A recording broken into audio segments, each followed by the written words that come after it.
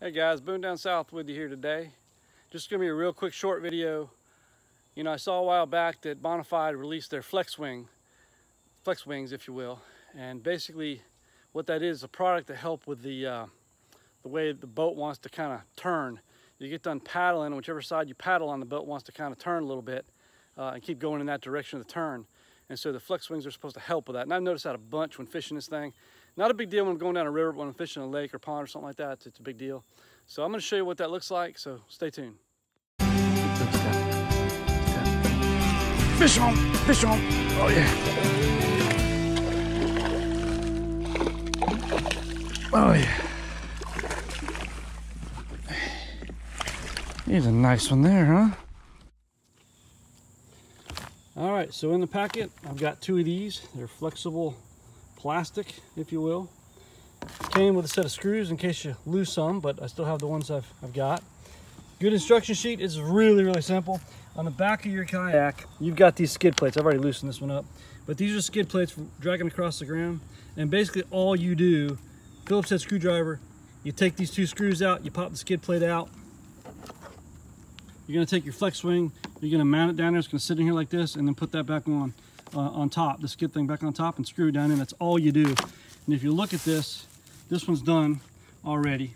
And again, this is how this fits in. It's very flexible, so you can still pull the boat across and you won't have to worry about this. But the concept on both of these are in, the water's gonna flow through and it's gonna keep the boat tacking in the direction you want it to go in instead of changing back and forth to see what's going on.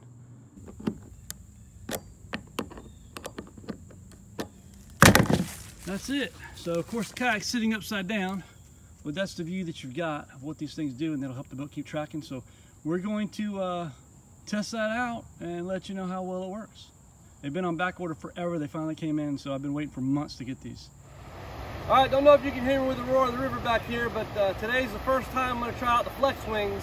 So I've already showed you how they install and everything, so I didn't bring the rudder today. We're solely gonna rely on those Flex Wings. And see, the, the problem with the Bonafides is that last paddle you make, the, the kayak does not want to track straight after that. It wants to continue with a turn. And the flex wings are supposed to solve that. So I ordered them when they came out. They're on back order for several months. I got them during the fall. Then I had my shoulder problem. I had surgery. On this is the first time I've had it out. So going down a Little Pigeon River today and tomorrow. So we'll give you an update on how well I think they work. And we'll go from there. So stay tuned. All right, we're good.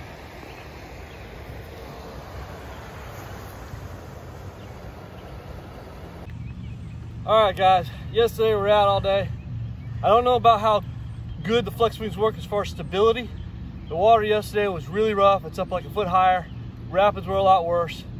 Not really any calm sections of the river really tested on. Had wind when we did get to the calm sections. But durability wise, I can attest for this.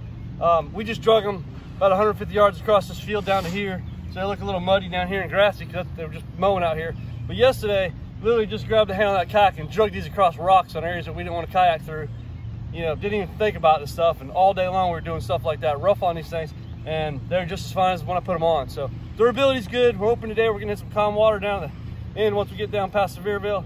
We'll let you know about how the, you know, how well the tracking is with these things on. So stay tuned.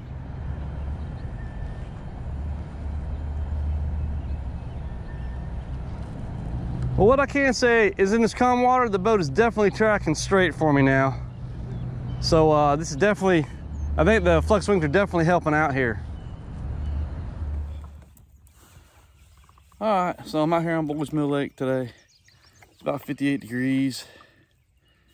Just get out here. I didn't bring, normally I bring a trolling motor out here. I didn't bring that today or the rudder. Really want to try out these flex wings on a calm body of water, see how well I, I think they work. I've had them in the river now. I'm trying them here to see, you know, how it's gonna go. So we're gonna try that out and let you know. All right, guys, spent all morning down at Boys Mill Lake trying out the flex wings. I didn't bring my rudder, didn't bring the trolling motor. So now I've been on the river scenario, I've been out on the lake, and my honest opinion is there might be some improvement with the flex wings. I noticed a little bit on the river time or two, but honestly, I think the improvement for flex wings is marginal. I don't think it's worth the money. Your best bet is to go with a rudder the when I use my rudder, it's way better as far as controlling the boat for the boat to track and everything else. So I put a link for the video I did for, the, for my uh, rudder setup. You, you, know, they now sell one for 200 bucks. I think I had like 50 bucks into my setup roughly, but I'll put a link there for you for that. But honestly, I just, I mean, it's a good idea, but the flex wings, I think any improvement's marginal, to be honest with you. I don't think it's worth the money. So that's my honest opinion after putting them on, testing it all out. So there you have it. Hit that like and subscribe, and we'll see you next time.